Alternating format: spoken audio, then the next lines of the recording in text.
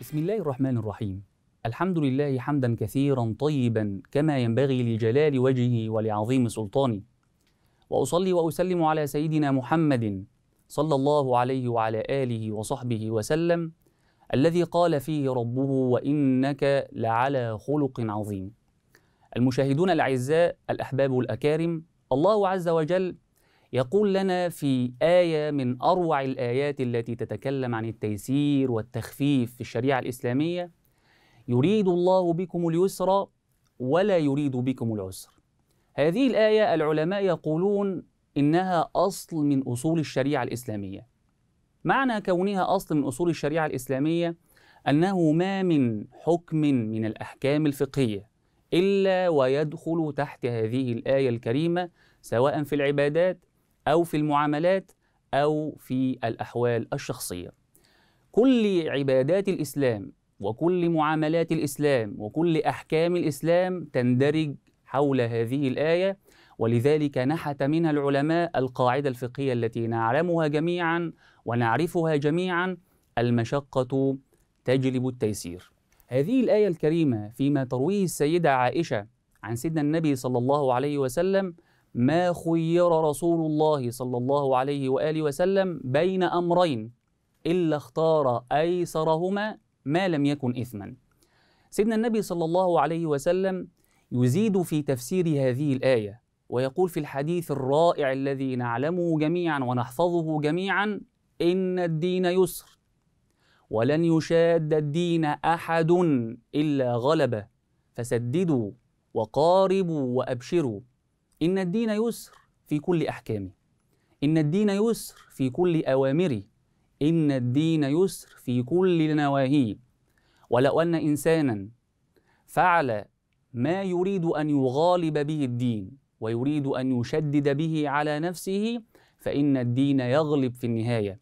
ولذلك يأمرنا رسول الله صلى الله عليه وآله وسلم أن نسدد فإن لم نستطع أن نسدد نقارب على التسديد إلى أن نصل إلى درجة الكمال ويبشرنا رسول الله صلى الله عليه وسلم سواء في التسديد أو المقاربة أبشروا برحمة الله عز وجل. هذا المنهج في التيسير وعدم التجديد هو ما فهمه الصحابة من آيات القرآن الكريم ومن أحاديث سيدنا النبي صلى الله عليه وآله وسلم. سيدنا عمرو بن العاص كان في سفر من الأسفار. فرأى ما يراه النائم في نومه احتلم في ليلة باردة وهو على سفر.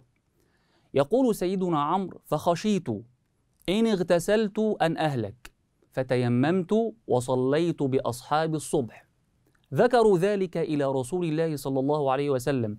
لما ذهبوا إلى المدينة فقال رسول الله صلى الله عليه وسلم يا عمرو أصليت بأصحابك وأنت جنب؟ يقول سيدنا عمرو وهو يخاطب رسول الله صلى الله عليه وسلم فذكرت منه ما منعني من ذلك وقال يا رسول الله إني قرأت قول الله عز وجل ولا تقتلوا أنفسكم إن الله كان بكم رحيما فضحك رسول الله صلى الله عليه وآله وسلم ولم يقل شيئا إمعانا في فهم أن الدين يسر وأن كل أحكام الدين مبنية على التيسير وليست على التعسير. إذا انتقلنا إلى الأمثلة وإذا انتقلنا إلى ما فيه تيسيرا على الناس في أحكام الدين في كل جانب من جوانب هذا الدين فإن الله عز وجل إذا أراد العبد أن يصلي لله عز وجل فإنه يتوضأ يا أيها الذين آمنوا إذا قمتم إلى الصلاة فاغسلوا وجوهكم وأيديكم إلى المرافق وامسحوا برؤوسكم وأرجلكم إلى الكعبين. إن لم يستطع الإنسان أن يستعمل الماء أو كان به مرض والماء يزيد في مرضه فإنه ينتقل من الوضوء إلى التيمم. وإن كنتم مرضى أو على سفر أو جاء أحد منكم من الغائط أو لمستم النساء فلم تجدوا ماء فتيمموا صعيدا طيبا الانتقال من الوضوء إلى التيمم هو رخصة وتيسير من الله عز وجل في هذا المعلم من معالم الدين. الله عز وجل أيضا وهو يقول لنا في معالم تيسير هذا الدين أن الإنسان إذا انتقل من مكانه الذي هو مقيم فيه إلى مكان آخر وكانت المسافة مسافة قصر فإن الله عز وجل أباح له أن يترخص برخص السفر فأباح له أن يفطر في رمضان ويقصر الصلاة ويجمع بين الصلاتين سواء جمع تأخير أو جمع تقديم.